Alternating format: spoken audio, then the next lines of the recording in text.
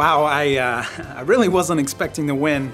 Um, I have so many people to thank for this. Uh, I brought a list. Uh, uh I'd like to thank my mom and dad, and of course the big cheese himself, uh, Mickey Mouse. Howdy everyone, I'm Scott Davis, a marketing professor at UH Downtown. Today I want to share a brief lesson that I hope will help you create or contribute to an amazing service culture. On LinkedIn this week, Ariel Margolis asked, what was your first job?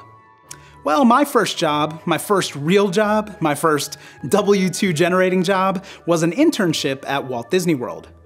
I joined the 1999 college internship program with a role as merchantainer, which is Disneyese for being a cashier.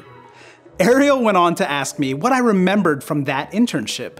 One thing, or seven things that stand out, were Disney's guidelines for guest service. 20 years after my internship, I still remember these guidelines. I even talk about them in my classes. Variability of frontline staff performances can create a lot of problems for service companies. What do people remember after a service encounter? Human interactions.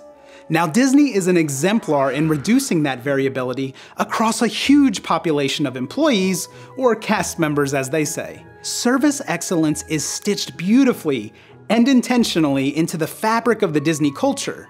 If you're a cast member, you can't help but deliver. Walt Disney World's seven guest service guidelines, the ones every cast member knew by heart when I worked there, are memorable. Disney uses the seven dwarves, characters everyone already knows, as a mnemonic device. Number one, be happy. Make eye contact and smile. Number two, be like Sneezy.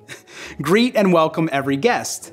This link was admittedly a bit of a stretch because hospitality is contagious. Kind of gross when you think about it, actually.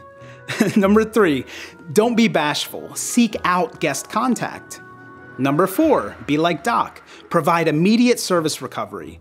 We had a lot of autonomy to make things right for our guests. Number five, don't be grumpy. Always display appropriate body language. We even had a mirror before we went on stage to make sure we looked the part. Number six, be like Sleepy. Create dreams and preserve the magical guest experience. Number seven, don't be dopey. Thank each and every guest. I eventually learned to do that in many different languages. Well, there they are. And my hope for you is that you can think of a way to make your values memorable to your staff. Beyond just a mnemonic device, these guidelines are memorable because we lived them every day as cast members. And maybe that's too corny, but we really did. I even won this award for Cast Member of the Month at Disney's Animal Kingdom, uh, the first intern to ever win the award, so it was really special for me.